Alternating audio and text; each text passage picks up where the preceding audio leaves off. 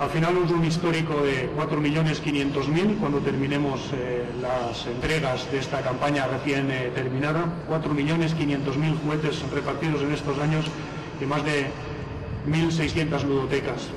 La última campaña, como decía José Antonio, en plena crisis, yo creo que la sociedad española nos ha dado un ejemplo a todos, haciendo crecer las cifras y batiendo el récord histórico de recaudación. Y esto es gracias, en primer lugar, a los ciudadanos. Es muy reconfortante ver cómo estos ciudadanos no dejan de lado la infancia y la felicidad de un niño del tercer mundo porque están seguros de que las empresas e instituciones que participamos tenemos un planteamiento muy limpio y muy sencillo.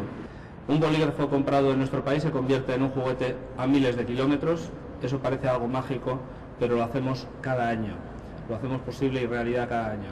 Y para que lo consigamos una y otra vez, los ciudadanos tienen que tener, como decía, confianza en nosotros. Que jugar es un derecho no solamente ¿eh? es un momento de ocio, es una ilusión, sino también un derecho que dejan de tener muchos niños en este mundo.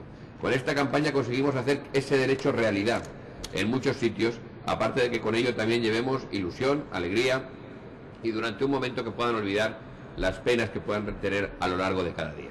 Cuando nosotros con esta campaña ya hacemos que estos juguetes lleguen a todos estos niños a lo largo de todos estos países del mundo, lo que estamos consiguiendo también es que no solo jueguen, sino que aprendan.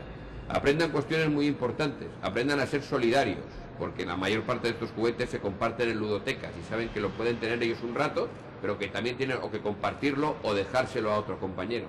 Aprenden la cooperación, por lo tanto, también, que es muy importante. Y me decía el año pasado José Antonio que en muchos sitios aprenden también otras cosas porque es el estímulo para que vayan a la escuela cada día, el saber que van a poder tener un juguete allí con el que jugar un rato, pero a su vez también eso les hace ir y que puedan aprender esa formación tan necesaria que es lo único que a todos en realidad nos puede hacer iguales en un momento.